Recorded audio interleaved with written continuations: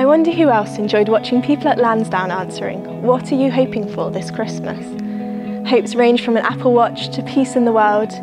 Some days we can feel like we are so full of hope, and others that we are empty. For one woman in the time of the judges, hope seemed to be all but gone. Famine led her to leave her homeland to go to Moab. She lost her husband, then her two sons. On all accounts, she had lost her hope for the future.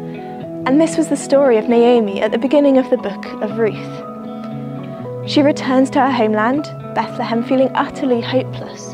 When greeted by name, she replies, No, don't call me Naomi, call me Mara, because the Lord Almighty has made my life very bitter.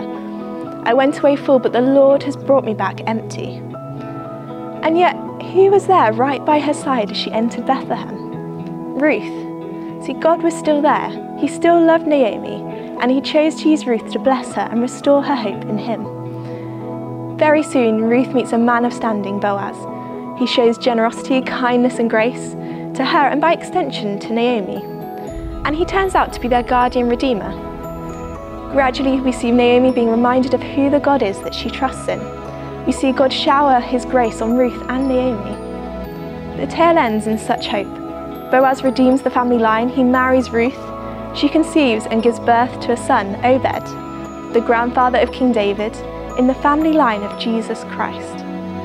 Jesus, our ultimate Redeemer, born in Bethlehem, the one who takes our bitterness and shame and shows us abundant grace. This Christmas, let's remember Jesus. Let's find our hope in Him, our glorious Redeemer.